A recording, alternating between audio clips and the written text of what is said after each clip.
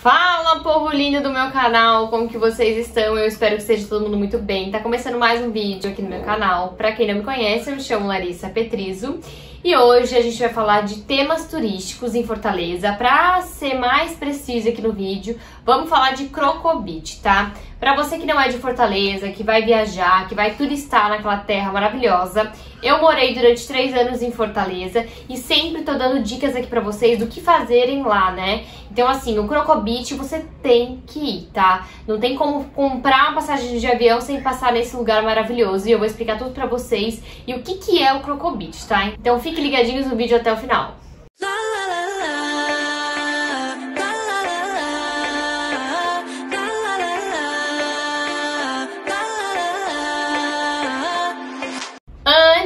Começar o vídeo e falar mais um pouquinho pra vocês do que, que é o Crocobit, eu vou pedir pra você que tá me assistindo, se inscreve no meu canal, curte, dá like, chama todo mundo pra compartilhar o vídeo. Isso é muito importante no crescimento. Deixe seu comentário aqui se você já tinha ouvido falar do Crocobit, se você já foi, né, se você gosta ou não. Se te interessou esse meu vídeo, se te deu uma certa inspiração aí pra você ir visitar, deixa lá um likezinho também que vai me ajudar muito no crescimento do canal. Então bora lá pro vídeo de hoje. Bom, o que, que é o Crocobit, né? Quando eu cheguei em Fortaleza, ele era sempre muito falado e eu não sabia o que, que era. O nome é muito estranho, né? É diferente do Beach Park, que a gente sabe que é um parque aquático, né? Mas o que, que é o Crocobit? Gente, imagina é, uma praia que aonde você para tem uns quiosques, tá? Eu acho que basicamente todo o litoral aí deve ter quiosque, né? Normal, de tomar um coco, uma água, comer alguma coisa. Mas o Crocobit é um quiosque totalmente diferente de tudo que eu, Larissa, já vi, tá? Pelo menos aqui onde eu moro, no litoral de, de São Paulo, a gente não fazia ideia que existia um local como o Crocobit. É um quiosque fechado, é como se fosse, é, literalmente é dividido, tá? Quiosque por quiosque. Então no Crocobit tem piscina, tem cabeleireiro, tem é, restaurante, tem farmácia, Gente, é um lugar incrível, gigantesco. Tem muita área verde para tirar foto, tem muito cenário bonito, tem muito lago com carpa, com peixe. Vou deixando as fotos aqui rolando enquanto eu vou falando da beleza desse lugar incrível. Tem a área VIP também, onde você pode ficar ali na piscina se você não quiser ficar no mar. É incrível. Tem show, tá? Se eu não me engano, começa 4, 5 horas da tarde shows lá. Então vai uma banda de forró, uma coisa bem animada mesmo e bem típica do local. O que é legal dizer que o Crocobit, além de oferecer tudo num lugar só, e aí é uma praia extraordinária, muito linda, mas cuidado que é perigosa, tá? Que lá as ondas quebram pra valer. Na verdade, eu nunca entrei no mar lá da Praia do Futuro, que é onde fica o Crocobit, tá? O nome do bairro é Praia do Futuro. Todo mundo conhece Fortaleza. E eu não indico também para você ficar hospedado na Praia do Futuro, porque é um pouco perigoso, sim. É, então, assim, é, tenta vir mais pro lado ali do Meireles, Aldeota, para se hospedar.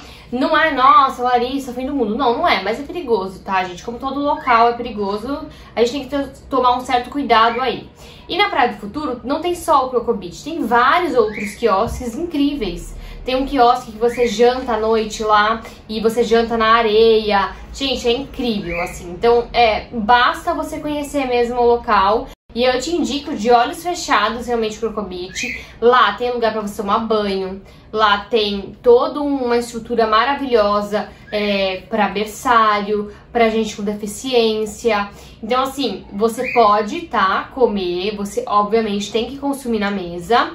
Mas tem diversas outras pessoas passando toda hora na sua mesa te oferecendo, sei lá, gente, ovo cozido, que tinha muito, camarão, é, todos esses tipos de petiscos. Então você pode comprar também. Ninguém vai te proibir, né? Obviamente você tem que consumir na barraca, não tem consumo mínimo até onde eu fui, tá? A última vez não tinha consumo mínimo. E é maravilhoso.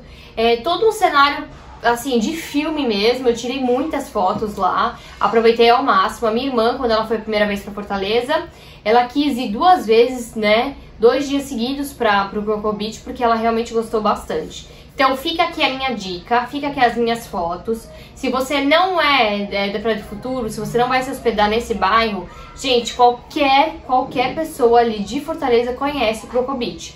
Pega um Uber, mais ou menos da onde eu morava, que era ali Meireles, Aldeota, é, de 20 a 25 reais o Uber, não é caro, fazer um bate volta aí para quatro pessoas dividirem a conta do, do, do, Uber e tá tudo certo, tá? É um preço aí razoável que vocês vão pagar e eu vou dar uma outra dica para vocês também. Larissa, só tem para almoçar lá? Porque o almoço é um pouquinho salgado, tá? Do Crocobit. Não, na frente tem almoços que de 15 reais, você almoça à vontade, toma refrigerante depois você pode entrar. A saída e a entrada do Crocobit é limitada, não é paga. Você pode ir sair e entrar a hora que você quiser, tá? Então, fiquem atentos com isso. Você pode sim ir sair para comer em outro lugar depois voltar para o Crocobit. Você pode consumir é, outras coisas, não precisa ser só necessariamente lá. Precisa consumir alguma coisa, né? É, e não tem um valor certo para você consumir. Cheguem cedo porque lá lota. Lá é maravilhoso e lá lota. Então, assim, uma barraca boa, uma localização boa, às vezes é difícil porque enche mesmo. Todo mundo quer ficar ali perto do mar. E é isso, gente. Tomem cuidado com o mar. Tomem sol com muito protetor solar. Eu espero que vocês tenham gostado desse vídeo. E se surgiu qualquer dúvida, é, podem deixar aqui nos comentários também que eu respondo com o maior prazer do mundo, tá bom? Beijão e obrigada por ter me assistido até aqui.